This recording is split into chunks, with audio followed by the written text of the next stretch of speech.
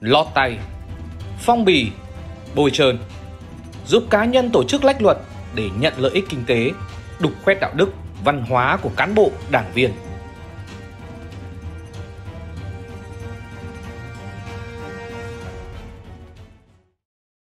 Thực trạng tham nhũng ở Việt Nam hiện nay được chia làm 3 cấp độ. Tham nhũng nhỏ, tham nhũng lớn và tham nhũng rất lớn. Đối với tham nhũng nhỏ hay còn gọi là tham nhũng vặt, thực hiện thông qua việc sách nhiễu, cố ý gây phiền hà cho người dân, biến việc đơn giản thành phức tạp. Lợi dụng những quy định dườm ra, hình thức của thủ tục hành chính để dây dưa, trì hoãn giải quyết các việc hành chính dân sự với mục đích buộc người dân phải mất tiền hoặc thứ khác có giá trị nếu muốn được việc một thực tế rất đau lòng là chúng tất cả những cái việc này cái hiện tượng này, cái hành vi tham nhũng này, tham nhũng nhặt này, nó đã và đang diễn ra ở khắp mọi nơi, mọi chỗ, kéo dài năm này qua năm khác. Nhưng mà giải pháp để phòng chống nó thì ở nhiều cấp, nhiều ngành, nhiều địa phương hầu như là vô cảm, thờ ơ. Coi là cái việc nhỏ? Mặc dầu biết rằng đây, cái hậu quả của nó vô cùng lớn, chứ không nhỏ chút nào. Bởi trong thực tế là những cái cả những cái vụ án lớn nghiêm trọng đặc biệt nghiêm trọng đều là những cái kẻ mang trong người máu lạnh và làm tham vô đáy. Nhưng mà bắt đầu từ tham lam vặt tham ô vặt tham nhũng vặt. Tham nhũng vặt đó, nó được biểu hiện với nhiều dạng khác nhau. Và người ta sử dụng cũng khá nhiều các ngôn ngữ khác nhau để nói về đến tình trạng tham nhũng vật này. Tôi lấy ví dụ như là vấn nạn phòng bị thế rồi thì tình trạng lót tay phổ biến vân vân và vân thế thì chỉ nguyên những cái từ ngữ ấy thôi thì cũng đã đủ nói lên được những cái sai lạc về văn hóa về tư tưởng đấy, của đội ngũ cán bộ công chức đấy, của chúng ta hiện nay. Tôi nói về văn hóa tức là gì mình gọi là văn hóa phong bì. Thế còn lại về sai lạc về tư tưởng đấy chính là đi theo cái trạch hướng theo cái tư tưởng của Hồ Chí Minh. Là cán bộ công chức hay là chính là công bộc của nhân dân. Chính là mình phải là người phục vụ nhân dân mới là đúng. Năm 2020, chỉ số hài lòng về phục vụ hành chính CPAT ghi nhận tình trạng người dân bị công chức gây phiền hà, sách nhiễu trong quá trình cung ứng dịch vụ công ở một số địa phương, cơ quan, đơn vị tăng nhẹ với tỷ lệ 1,23%, xảy ra ở 57 trên 63 tỉnh, thành phố có 48 trên 63 tỉnh thành phố để diễn ra tình trạng người dân phải trả một khoản ngoài lệ phí khi thực hiện dịch vụ công, tăng 2 tỉnh so với năm 2019. Tỷ lệ người dân chỉ phải đi lại một lần mà giải quyết xong thủ tục hành chính đạt 29,69%, là con số quá thấp so với kỳ vọng cải cách hành chính đặt ra. Nhìn vào những số liệu này chúng ta thấy, mặc dù công cuộc cải cách hành chính được triển khai sâu rộng trong nhiều năm qua với rất nhiều khẩu hiệu và mục tiêu hành động như một cửa, một dấu, một cửa liên thông, tất cả vì sự hài lòng của người dân. Nhưng trong thực tế, người dân vẫn chưa hoàn toàn được phục vụ đúng tiêu chuẩn. Vẫn còn những kẽ hở để một bộ phận cán bộ dựa vào đó làm khó người dân và làm giàu cho mình. Các cái chế độ chính sách, các cái thiết kế, thiết kế, các cái tiêu chuẩn, các cái luật ban hành ra của đảng và nhà nước ban hành ra thì nói chung rất tiến bộ ngày càng hoàn thiện ngày càng hoàn chỉnh ngày càng đầy đủ nhưng không làm sao mà không có những thiếu sót, không làm sao có những cái chỗ mà nó bất cập. Nhưng không vì bất cập, không vì chưa đầy đủ, không vì còn có chỗ này chỗ kia, cái này mà kia, mà người cán bộ, người đảng viên, người dân chân chính lợi dụng vào cái đó để tham nhũng vật Hành vi tham nhũng vật này vẫn chưa được quan tâm, đấu tranh đúng mức, dẫn tới hình thành một tư tưởng, thói quen cố hữu trong cả người dân và đội ngũ cán bộ. Đó là muốn nhanh, gọn, sớm thì đều phải biết ý, có tiền bồi dưỡng thì công việc mới trôi chảy. Nó làm suy đồi đạo đức của cán bộ ngay từ cấp thấp, dần biến tướng thành lòng tham, hình thành tham nhũng lớn khi được giao trọng trách ở những vị trí cao hơn. Tham nhũng lớn thì nó gây mất rất nhiều tài sản cho đất nước, và thất thoát cái tài sản cho đất nước. Nhưng cái gây cái tham nhũng vặt thì nó gây mất niềm tin. Mà rất nhiều các đồng chí lãnh đạo của chúng ta gần đây đấy, thì có những phát biểu rằng là nếu mà chúng ta mất niềm tin thì chúng ta sẽ mất tất cả.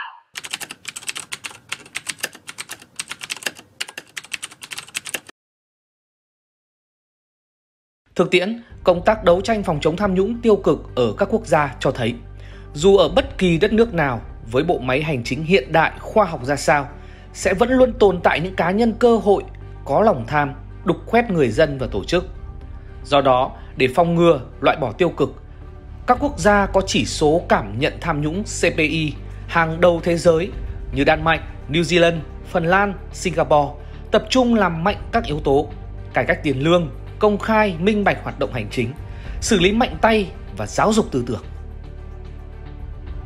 Singapore chẳng hạn, đây là một trong những quốc gia mà cái việc mà đấu tranh chống tham nhũng nó cũng có hiệu quả thì họ hướng mạnh vào cái câu chuyện cải cách tiền lương. Đấy, tiền lương của Singapore thu nhập của họ khá cao, cán bộ chịu khá cao thì theo đó nó cũng có cái tác động tốt. Đấy. Thế hoặc là cái thứ hai nữa là một số các cái quốc gia khác, tôi lấy ví dụ như là uh, ở EU, Đức, Thụy Điển thì họ chú trọng đến cái giải pháp là công khai minh bạch hoặc là một số các cái, cái tổ chức khác thì người ta hướng mạnh vào ví dụ như Trung Quốc thì nó hướng mạnh vào cái đấu tranh phòng chống tham nhũng xử lý rất nghiêm. Hàn Quốc cũng như vậy. Ở Hàn Quốc hay Australia nội dung phòng chống tham nhũng được đưa vào giảng dạy trong hệ thống trường học để giúp học sinh ý thức được nguyên nhân hậu quả tác hại của việc tham nhũng và giáo dục ý thức. Lên án tham nhũng ngay từ khi còn nhỏ. Bên cạnh đó, chính phủ cũng đẩy mạnh việc tuyên truyền phòng chống tham nhũng trên các phương tiện thông tin đại chúng, thành lập trung tâm thông tin về tham nhũng và lập quỹ chống tham nhũng. Đặc biệt, nhân dân là người trực tiếp giám sát việc thực thi xử lý các vụ án. Chính điều này đã tạo điều kiện cho cuộc chiến chống tham nhũng được tiến hành mạnh mẽ và rộng khắp, tạo thành chiến dịch xây dựng văn hóa không tham nhũng ngay từ khi còn trên ghế nhà trường. Những người tương lai sẽ làm chủ đất nước tham gia vào bộ máy công quyền? Tôi nghĩ là cái gì mà của quốc tế hay thì chúng ta học. Chúng ta học Singapore, chúng ta học Trung Quốc trong cái việc là xử lý không có vùng cấm và không có ngoại lệ thì cái đó là cái là chúng ta đang học ở Trung Quốc hay là ở Hàn Quốc ở Australia đấy thì họ cũng đưa những cái nội dung phòng chống tham nhũng vào giảng dạy ở các trường học và cái này thì Việt Nam chúng ta cũng có cái quyết định của chính phủ của thủ tướng tức là giảng dạy cái chương trình phòng chống tham nhũng ở từ các cái cấp học của chúng ta. Cái quan trọng là chúng ta làm sao để cho nó phù hợp với cái bối cảnh điều kiện của Việt Nam chúng ta. Chứ còn trong cái thế giới mở ngày hôm nay đấy, thì chúng tôi nghĩ là cái việc chúng ta học những cái hay của nước ngoài thì đấy là cái điều đương nhiên và cần thiết.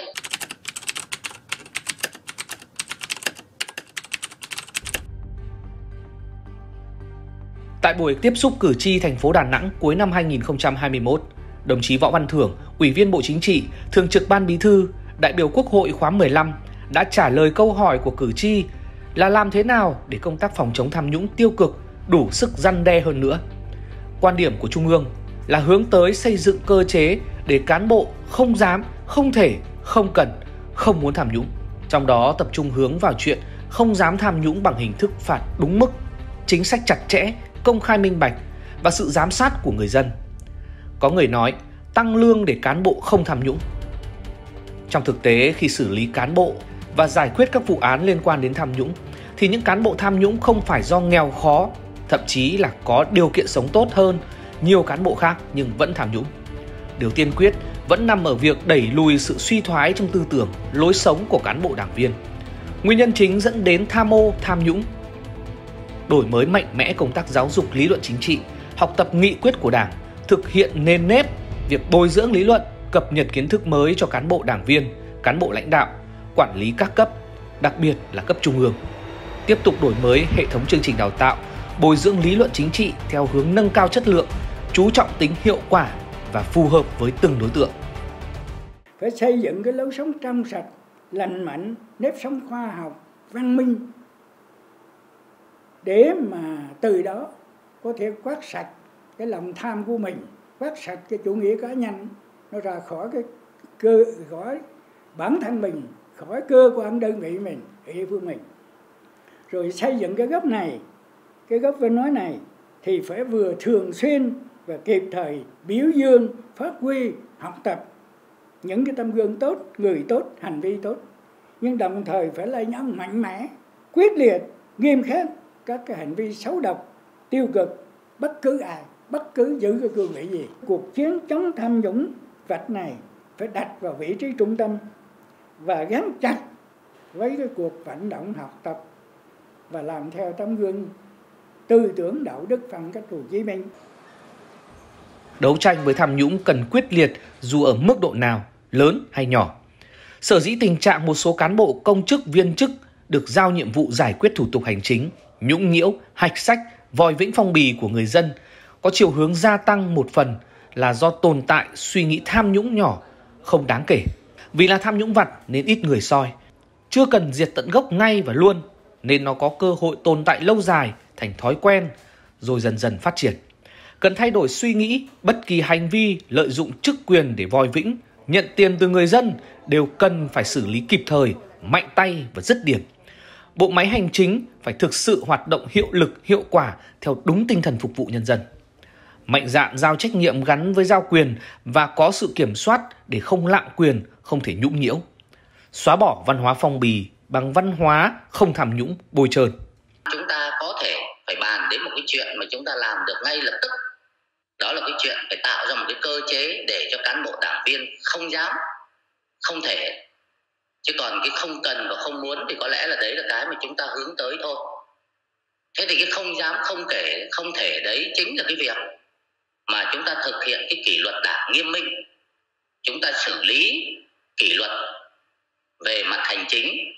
nghiêm minh và đặc biệt là chúng ta thực thi pháp luật một cách nghiêm minh để chúng ta trị cái tham nhũng cái tiêu cực. Các cái cấp thì cũng cần phải có những cái cơ quan phòng chống tham nhũng cụ thể để gắn với địa bàn gắn với khu vực gắn với cái trách nhiệm của từng cái địa phương cuối cùng để bịt hết những kẽ hở có thể lợi dụng để tham nhũng. Ngoài việc hoàn thiện các quy định về pháp luật thì không gì hiệu quả hơn bằng việc phát huy sự giám sát, phát hiện của người dân. Muốn làm được điều này, cần thực hiện chế độ công khai minh bạch trong tất cả các hoạt động của bộ máy nhà nước. Đối với nhiều nước trên thế giới hiện nay, những lĩnh vực nội dung cần công khai tới người dân gồm công khai chi tiết thu chi ngân sách, công khai mua sắm tài sản công, công khai trong lĩnh vực xây dựng, công khai việc kê khai tài sản, thu nhập của cán bộ, công chức, công khai quá trình tiếp nhận, bổ nhiệm cán bộ cũng như việc cấp các bằng cấp. Bởi đây là những lĩnh vực có khả năng dễ nảy sinh tiêu cực và tham nhũng. Ở Australia, theo pháp luật nước này, chính phủ có trách nhiệm phải công khai các quy trình thủ tục, công khai rút thăm làm thủ tục hành chính thông qua máy móc. Mọi người đều biết thứ tự của nhau và ngăn ngừa tham nhũng do chạy chỗ, coi trọng tính công khai minh bạch trong hoạt động đấu thầu mua sắm tài sản công. Các cơ quan thanh tra, kiểm toán, ủy ban liêm chính cảnh sát được quyền yêu cầu bắt buộc đối tượng điều tra phải cung cấp thông tin, giải trình. Nếu phát hiện cung cấp sai thì có thể bị khép vào tội hình sự. Một số quốc gia quy định tất cả các tài liệu của chính phủ và các cơ quan nhà nước từ trung ương đến địa phương, trừ tài liệu thuộc bí mật quốc gia, đều phải được đăng tải công khai trên báo chí và trên mạng Internet, kể cả mức lương của Thủ tướng và các bộ trưởng mọi công chức nhà nước đều có quyền, trách nhiệm cung cấp các thông tin về tổ chức và hoạt động của cơ quan mình cho phóng viên báo chí. Nếu phát huy tốt điều này ở Việt Nam, cán bộ công chức sẽ không thể không có cơ hội tham nhũng. Công khai minh bạch ở đây mình không thể nói chung chung công khai minh bạch này đâu. Công khai minh bạch ở đây tức là gì? Công khai minh bạch về biện pháp xử lý. Công khai minh bạch tức là thiết lập ra một cái đường dây nóng để có người dân doanh nghiệp người ta có thể phản ánh được cái cái cái biểu hiện tiêu cực trong cái quá trình giải quyết công việc của đội ngũ cán bộ công chức. Thế và cái thứ cũng tiếp nữa cái trong cái đường dây nóng là gì? Công khai minh bạch cái kết quả giải quyết cái việc mà người ta phản ánh như thế thế nào. Thì đấy cũng là một dạng công khai minh bạch. Thế hoặc là công khai minh bạch trong cái quản lý sử dụng tài sản công công khai minh bạch trong cái ờ, thu nhập đấy, của đội ngũ cán bộ trong bất kỳ hoàn cảnh nào suy thoái về tư tưởng chính trị đạo đức lối sống đều sẽ dẫn đến những hành vi sai lệch khác Xây dựng văn hóa liêm chính trên tinh thần phục vụ người dân chính là xử lý gốc rễ vấn đề dẫn đến tham nhũng tiêu cực. Đây phải là hoạt động thường xuyên, liên tục trở thành tiêu chí đánh giá cán bộ đảng viên, đặc biệt là khi bổ nhiệm, bố trí vào những vị trí quan trọng. Có như vậy mới hình thành nên một đội ngũ cán bộ đủ bản lĩnh, đủ trong sạch, đủ mạnh mẽ để loại bỏ dần những phần tử tham lam, cơ hội.